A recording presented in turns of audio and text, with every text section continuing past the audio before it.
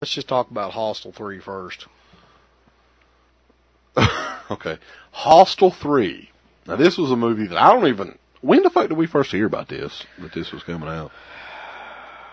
I think it had to be like a couple months ago, maybe. I think somebody brought up Scott Spiegel was directing.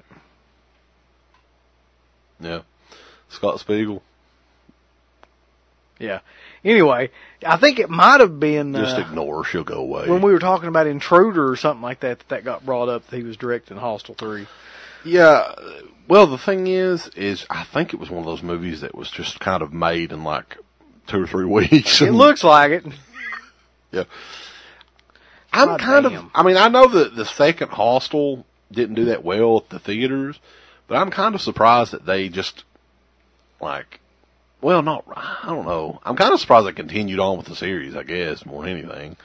You know, there's a reason though, man, that people got tired of this type of movie, and it's just the fact they keep putting it out over and over and over again like this, and they just ne- it, it's never going to end. I know that, but it's just that those kind of movies are so fucking depressing. And Well, I think those kind of movies are, are, are kind of passe now. Nobody really likes that shit anymore for some reason. I mean, that, that whole torture trend started from like 2000, what, five to probably about 2008 hardcore and then it kind of died off. Well, that's the thing I can't figure out about this movie though is that okay? They put this out. It's exactly the same type of movie as one and two. right. except it's in America and not in like some foreign country in or something Vegas. like that.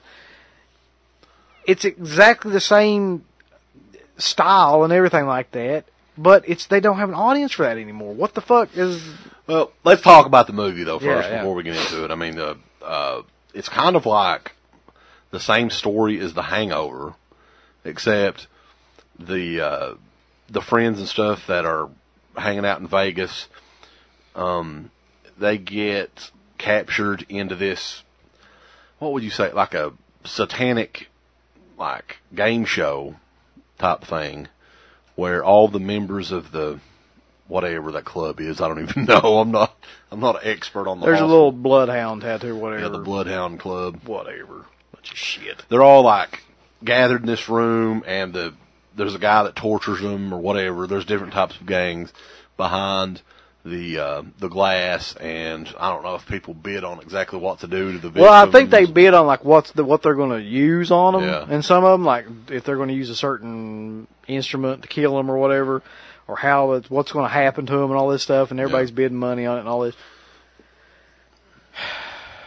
and it all I- goes you know, to hell from there. Actually, at the beginning of it, I thought, at the very beginning scene, I was like, wouldn't it be neat if they turned it around and it was like, you know, the Americans were taking the, the foreign people hostage and putting them into the hostile thing and, and all that Couldn't too. do that it'd be too original. Well, they did it in the beginning anyway, the Russian, Well, yeah, Russian- it was kind of hint, hinting at it, but like, but it, it, it didn't really like go anywhere from there other than that particular part. Yeah. And then they all end up in Vegas or whatever, and they were they were doing that. But it started off well, and I was like really kind of hopeful for it. But then it just it devolved into the exactly the same thing, like it just set piece after set piece of them being tortured and murdered. And it's like I look at that now, like you should really look at it like disco or something. Like anybody that likes that shit should be ashamed of it, really.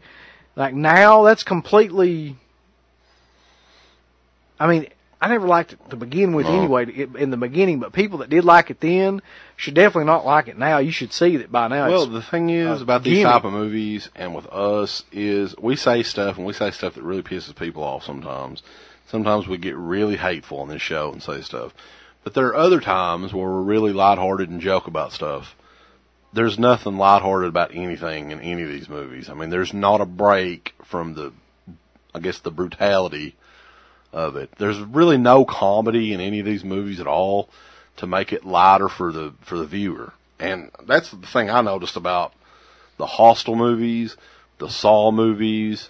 We were talking about um what were some of the other really shitty ones that come out? Captivity. Teresa's Captivity. All those movies really just are really for just really bland people that just are in it for the gore and the violence. Well, there is a subgenre of people that like this type of shit, though, man. And Yeah. it's like it's the hot topic ish kind of emo goth kids that you know. I think a lot of the what they did was a lot of the people that were not really hardcore horror fans kind of latched onto it just because it was like it was like the girls gone wild shit or Right. something. Like it got kind of popular for a while where people were like, "Oh shit, it's the new Saw movie that's coming out," you know, or whatever. We've got to go see it.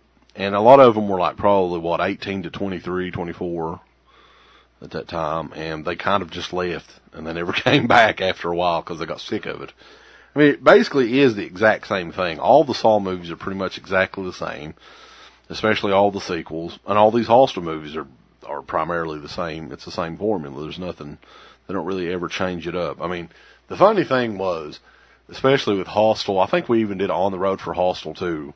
We were like, this time it's females. that was the only thing that That was, changed. yeah, that was it. It's almost like the Look Who's Talking movies, kind of.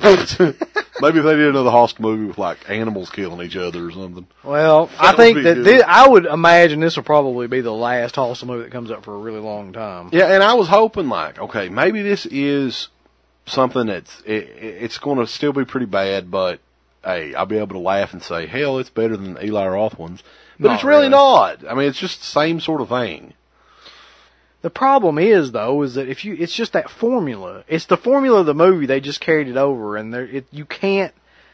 To me, you can't make that formula fun, and you can't make it interesting, and you can't make it entertaining. It's just there for that certain group of people that really get off on that type of film. And I, really want to keep it brutal. I've just never been one of those fucking people. I don't think.